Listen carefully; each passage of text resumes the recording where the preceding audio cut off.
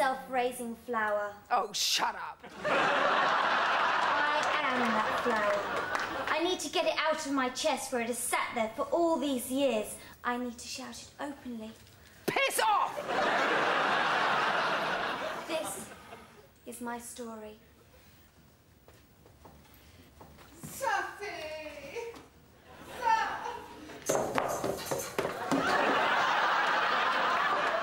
Shit.